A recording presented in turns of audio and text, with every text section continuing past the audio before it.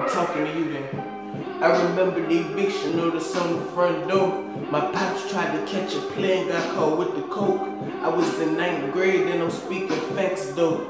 I ain't know if he would come home, but we had hope. I was in Studewood sitting on the front porch.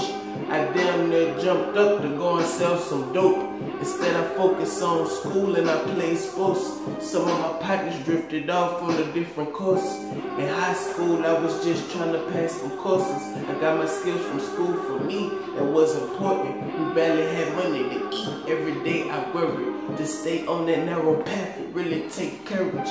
Take it one day at a time, don't be in a hurry. Keep my eyes on the prize till my vision blurry. We gonna rise, the word of God keep my spirit nourished. Long as I plead the blood of Jesus, I'll never perish.